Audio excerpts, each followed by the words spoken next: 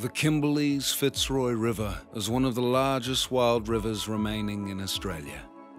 It is the world's last great stronghold for the critically endangered freshwater sawfish. Sawfish have survived since the time of the dinosaurs, but now they face extinction. The Fitzroy River is the last place on Earth where sawfish are thriving in abundance.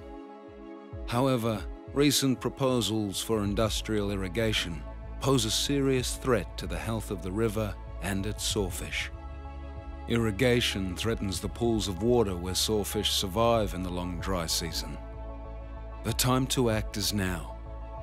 Help protect the Fitzroy River and its endangered sawfish. Add your support. Protect the Fitzroy River.